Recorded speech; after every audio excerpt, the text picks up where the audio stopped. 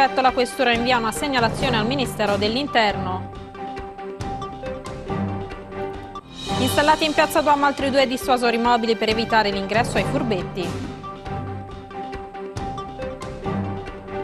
Presentati i candidati della Lega in Consiglio Comunale alla presenza del Ministro Centinaio e del Commissario regionale Ceccardi. Una buona giornata dalla nostra redazione e ben trovati a un nuovo appuntamento con l'informazione di TV Prato. In apertura del nostro telegiornale torniamo a parlare dei fischi e delle contestazioni al prefetto Rosalba Scialla avvenute durante la cerimonia della liberazione dello scorso 25 aprile. Secondo il Corriere Fiorentino il questore avrebbe inviato un telex al Ministero dell'Interno annunciando l'intenzione di voler denunciare i contestatori. Sentiamo. Il questore di Prato Alessio Cesareo avrebbe denunciato i responsabili della contestazione al prefetto Rosalba Scialla durante le manifestazioni del 25 aprile in piazza Santa Maria delle Carceri. Lo rivela il Corriere Fiorentino in edicola questa mattina. Secondo il giornale, il questore avrebbe inviato un telex urgente al Ministero dell'Interno per informare dell'accaduto, ovvero che alcuni iscritti all'AMPI hanno fischiato e contestato Scialla e lo stesso Cesareo, rei di aver autorizzato la manifestazione di Forza Nuova in città lo scorso 23 marzo. Contattato da TV Prato, il questore non conferma né smentisce la notizia, trincerandosi dietro un no comment, poi però aggiunge non posso dire altro, si tratta di atti interni. Il Corriere Fiorentino, evidentemente in possesso del testo contenuto nel telex inviato dalla questura a Roma, rivela alcuni passaggi dell'informativa nella quale si dice che la Digos e la polizia scientifica hanno fatto delle riprese della contestazione e acquisito alcuni cartelli con frasi considerate non rispondenti alla solennità della manifestazione. Secondo l'informativa del questore, i soggetti ritenuti responsabili in corso di identificazione saranno segnalati all'autorità giudiziaria. Nel telex però non sarebbero indicati i reati contestati agli iscritti all'AMPI, probabilmente si tratta di quello di vilipendio della Repubblica e delle istituzioni costituzionali, ma in ogni caso sarà la Procura a stabilirlo. In piazza Duomo sono arrivati due dissuasori mobili antifurbetti, saranno attivi entro alcuni giorni, il tempo del collaudo, impediranno così l'accesso alla piazza ai non autorizzati. Si abbasseranno infatti soltanto per consentire il passaggio dei mezzi di soccorso e delle forze dell'ordine e dalle 6 alle 9 del mattino anche per i mezzi autorizzati al carico e allo scarico. Sono stati installati e saranno attivi tra qualche giorno due dissuasori mobili a scomparsa in piazza Duomo. I due pilomat sono stati posti uno lungo il lato che affaccia sul largo Carducci, l'altro su via Santo Stefano. Una decisione resa necessaria in quanto le fioriere mobili che lì erano poste venivano puntualmente e impropriamente spostate. In piazza Duomo è una sconfitta sotto un certo punto di vista perché erano state messe delle fioriere di cui una mobile per per diciamo, le emergenze, no? quindi se arrivava un'ambulanza, un vigile fuoco che hanno il loro accesso, ma nel, nell'emergenza c'è la possibilità di spostare la fieriera centrale, è successo che quella fieriera non c'era verso di tenerla ferma. Consa Servizi a cui era stato dato il compito ogni giorno, ogni mattina di riposizionarla, dicevano che la, la, la riposizionavano, con lo specchietto retrovisore vedevano una persona che si avvicinava e la spostava per passare dopo un minuto. Allora è una roba che secondo me dovrebbe far riflettere tutte le persone attenzione perché noi stiamo parlando di solo piazza Duomo pedonale. Siamo stati costretti a mettere Pilomat con tutte le segnaletiche di legge che non sono neanche molto gradevoli, però per eh, disperazione. Eh, quindi, credo, quindi lancio un po' questo messaggio eh, siamo in difficoltà a far recepire una cosa molto molto molto semplice, quindi credo che debba essere, eh, debba essere fatta una riflessione e si debba capire che non è possibile continuare in questo modo, si deve veramente cercare di avere dei, dei comportamenti civili. Soltanto le forze dell'ordine e le ambulanze potranno abbassare i dissuasori che tra le altre cose saranno collegati con la centrale della polizia municipale che in ogni momento in caso di necessità potrà abbassarli dal remoto. Sarà inoltre consentito il passaggio dei mezzi autorizzati al carico e allo scarico dalle 6 alle 9 del mattino. E passiamo alla politica, è stata presentata la lista della Lega, 32 i candidati, tra loro anche gli ex di Forza Italia Mircola Franceschina ed Eva Betti. All'appuntamento erano presenti anche il ministro Gianmarco Centinaio e il commissario toscano della Lega Susanna Ceccardi che ha sottolineato con il Carroccio una Prato migliore. Sentite. I sei sindaci dei sei capoluoghi del centrodestra in Toscana che hanno vinto recentemente le elezioni sono sempre in contatto e eh, condividono buone pratiche. Noi aspettiamo che la squadra si allarghi, aspettiamo anche il nuovo sindaco di Prato Daniele Spada, il sindaco di Firenze Ubaldo Bocci, perché siamo sicuri che queste città meritano di più, Prato merita di più. Dalla sicurezza al lavoro fino alla promozione al turismo, secondo la Lega Prato merita di più. Il Carroccio lo ripete a più riprese durante la presentazione ufficiale dei candidati della propria lista all'Art Hotel Museo. Presenti all'appuntamento il commissario toscano della Lega e candidata alle europee Susanna Ceccardi, ma anche il ministro Gianmarco Centinaio, entrambi a sostegno della vittoria di Daniele Spada. Strade, vie e piazze di Prato sono diventati luoghi pericolosi, mano agli spacciatori, commenta Ceccardi. Manca la volontà politica di incidere da parte del centro-sinistra. Sono moltissimi cittadini pratesi che mi hanno contattata in qualità di eh, coordinatrice della Lega Toscana in questi anni dicendo venite anche a Prato, ne abbiamo bisogno perché Prato non si merita questo, era una realtà, aveva un tessuto produttivo, artigianale, produttivo incredibile che negli ultimi anni è decaduto molto e ha bisogno di un rilancio.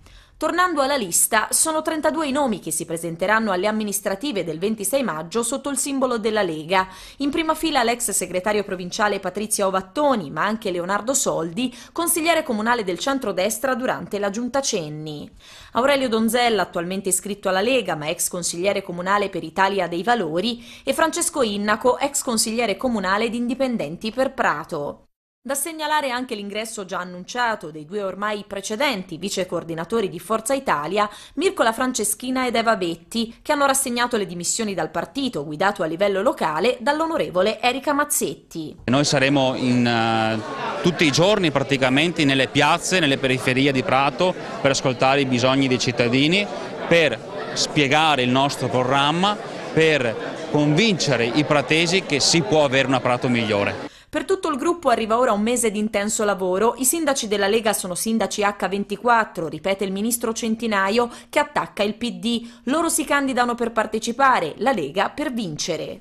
L'ho detto al nostro candidato sindaco, io dal giorno dopo, quando sarà eletto, metterò a disposizione i miei tecnici al Ministero per costruire insieme un percorso di promozione soprattutto della realtà di Prato di questo territorio per farla conoscere come realmente deve essere conosciuta in Italia e all'estero. E parliamo adesso dell'omicidio Ravida, la Cassazione esclude la fuga e omissione di soccorso per l'automobilista che si costituì 40 ore dopo l'incidente, la pena sarà ridotta. La Corte di Cassazione ha escluso la fuga e l'omissione di soccorso dell'automobilista che il 3 gennaio 2015 investì e uccise il diciannovenne Giancarlo Ravidà. Per l'uomo, un cittadino marocchino oggi 33enne, è stato confermato il reato di omicidio colposo i giudici della Suprema Corte hanno rinviato il processo ad altra sezione della Corte di Appello di Firenze per la rideterminazione della pena, che dunque sarà più bassa rispetto ai due anni e due mesi inflitti anche per effetto del rito abbreviato in primo e in secondo grado. Confermata la provvisionale in favore della famiglia della vittima, assistita dall'avvocato Luca Brachi. L'incidente avvenne in via Valentini, in prossimità delle strisce pedonali vicino alla pizzeria Il Ragno. L'investitore si costituì più di 40 ore dopo, spiegando agli inquirenti di aver avuto paura delle conseguenze dell'impatto e sostenendo di essere rimasto sul luogo dell'incidente senza aver avuto il coraggio di ammettere le proprie responsabilità. Una linea perorata dall'avvocato difensore Leonardo Pugi, che ha trovato conferme in alcuni filmati e nella testimonianza di una delle prime persone giunte in soccorso di Ravidà, la quale chiamò il 118 ricevendo indicazioni di non toccare il ferito prima dell'arrivo dell'ambulanza, che in pochi minuti giunse sul luogo dell'incidente. All'arrivo dei soccorritori il ragazzo presentava profonde ferite alla testa e fu trasferito nel reparto di neurochirurgia di Careggi, dove purtroppo morì. Preziose indicazioni sulla dinamica dell'incidente arrivarono dalle telecamere di videosorveglianza della zona che filmarono l'investimento. Soltanto dopo la diffusione delle immagini da parte della polizia municipale, al fine di trovare altri testimoni, l'automobilista decise di costituirsi. Continua il reportage dall'India di Dario Zona e Irene Saccenti sulle missioni delle suore di Iolo nella prossima puntata di Tikva che sarà trasmessa su TV Prato. Questa sera alle 21.20 racconteremo la realtà della scuola gestita dalle domenicane dove studiano molti bambini provenienti dall'isola dei fuori casta. Tarega pennale,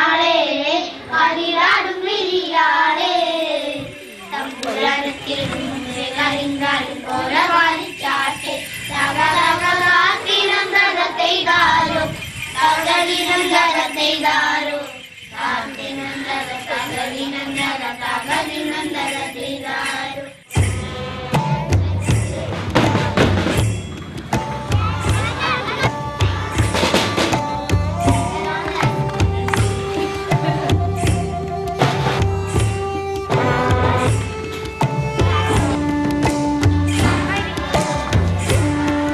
maggioranza dei bambini vengono da una isola chiamata così Coroncotta, che è l'isola dei fuori casta.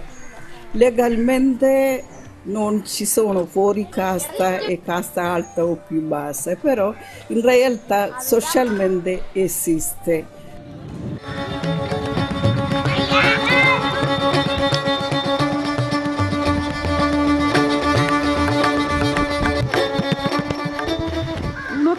Nasce povero perché non è voluta da lui, no? Quindi tenerlo sempre povero è una violenza che noi facciamo. Noi cerchiamo non solo di insegnare a scrivere a leggere, ma cerchiamo, questo è il nostro intento, no? di dare i valori, valori morali e sociali e spirituali. Questi ragazzi un domani saranno a loro volta genitori, quindi forse quando loro saranno i genitori la situazione cambierà, questo è quello che speriamo.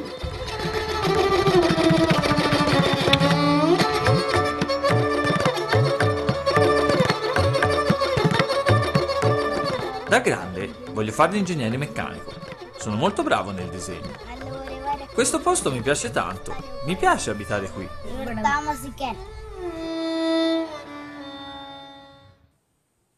Domani al Teatro Politeama va in scena lo spettacolo che rievoca la notte dell'uomo sulla Luna, ultimi biglietti per l'evento della Fondazione Parsec che vedrà protagonista anche Tito Stagno e TV Prato e media partner dell'iniziativa. Sono quasi esauriti i biglietti per Luna e dintorni, lo spettacolo che domenica 28 aprile alle 17.30 al Teatro Politeama Pratese riporta in scena Tito Stagno, il giornalista Rai che 50 anni fa, la notte del 20 luglio 1969, divenne famoso per aver raccontato in diretta lo sbarco dell'uomo sulla Luna lo spettacolo è gratuito, il biglietto, posti non numerati, potrà essere ritirato fino ad esaurimento alla biglietteria del Politeama oggi pomeriggio dalle 17 alle 19.30. È il Museo di Scienze Planetarie il motore del progetto che, intrecciando l'avventura spaziale e il genio di Leonardo da Vinci, ha creato un percorso culturale e scientifico con i disegni lunari dei codici leonardeschi e i razzi di von Braun, gli studi sulla luce e le orme di Armstrong sulla Luna. Marco Morelli, direttore del museo e della Fondazione Parsec, e la storica dell'arte Alessia Cecconi apriranno con l'affascinante storia della Luna e di Leonardo, della ricerca di oggi e dell'intreccio fra scienza e arte fin dall'epoca di Da Vinci.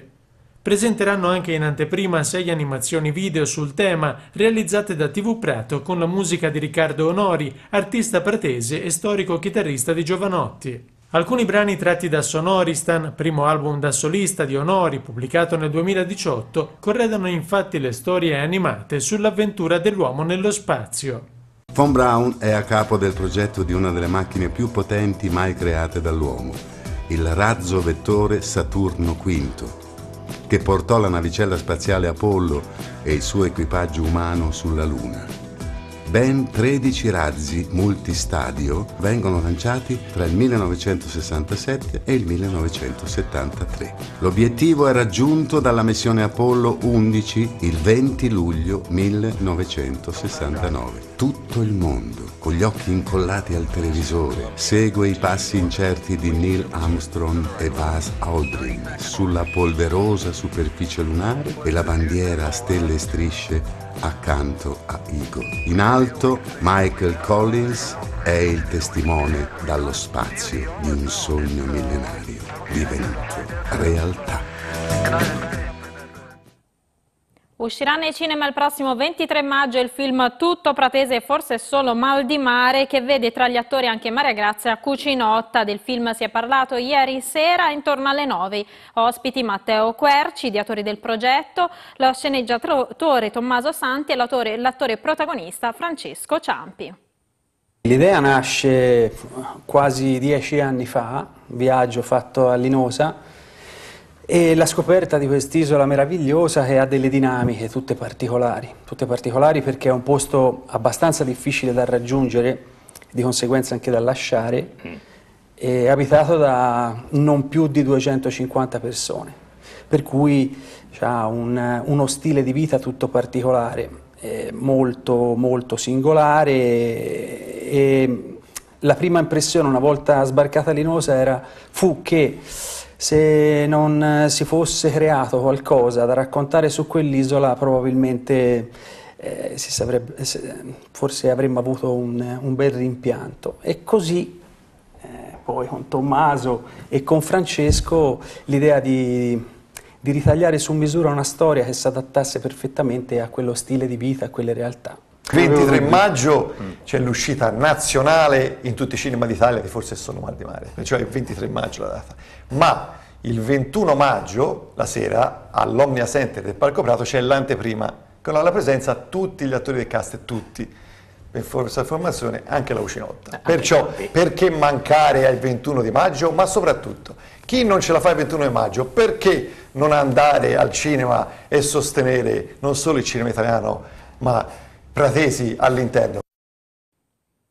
E questa era l'ultima notizia, il telegiornale termina qui, il prossimo appuntamento con l'informazione di TV Prate per questa sera alle 20.30. Grazie per averci seguito e arrivederci.